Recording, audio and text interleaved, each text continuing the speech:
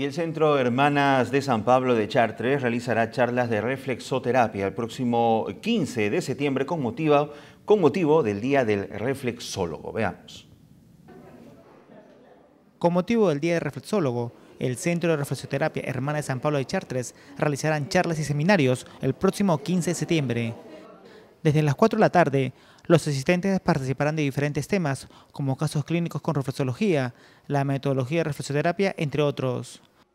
A través de estas técnicas, los participantes podrán encontrar un perfecto equilibrio en sus emociones y salud.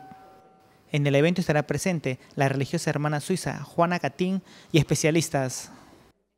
Todos amigos y amigos y amigas están invitados a festejar con nosotros el Día del Reflexólogo. Va a empezar a las 4, 3 y media de la tarde.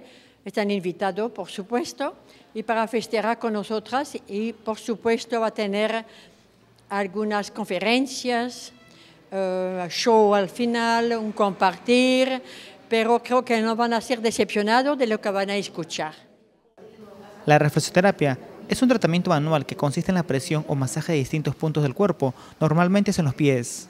Significa para mí ser reconocido a nivel nacional que existimos, que tenemos un trabajo tan importante tan fácil hacer también por los que son preparados para curar todo tipo de enfermedades.